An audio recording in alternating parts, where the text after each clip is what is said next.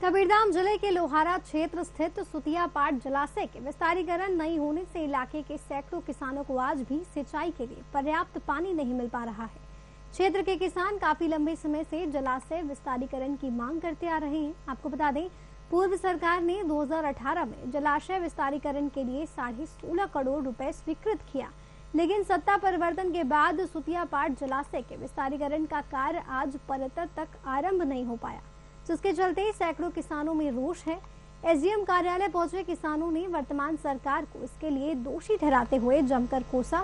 साथ ही एसडीएम कार्यालय लोहारा का घेराव करते हुए एसडीएम को मुख्यमंत्री के नाम जल्द से जल्द विस्तारीकरण कार्य आरंभ करने के लिए ज्ञापन सौंपा।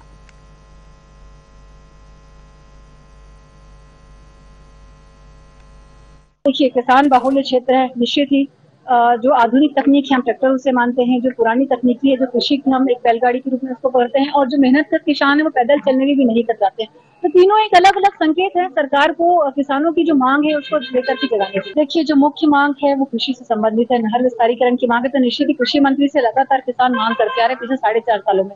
और छत्तीसगढ़ के मुख्यमंत्री, जो किसान का बेटा खुद को कहते हैं, हमें लगता है कि ये दो ऐसे हैं जिन तक हमारी बात पहुंचनी चाहिए। लगातार साढ़े चार साल तो प्रयास करते हो गए आवाज़ अभी तक उन्हें सुनी नहीं है।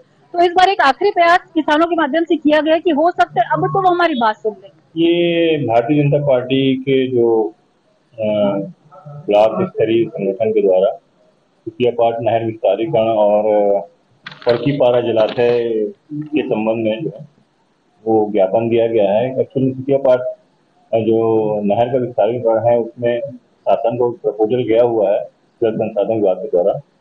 और वो शासन का विचारा देने इसी प्रकार सड़की पारा जलाते के है इस संबंध में उन्होंने ज्ञापन दिया है उनके ज्ञापन को वरिष्ठ अधिकारियों को अवगत कराते हुए शासन में बताया जाएगा।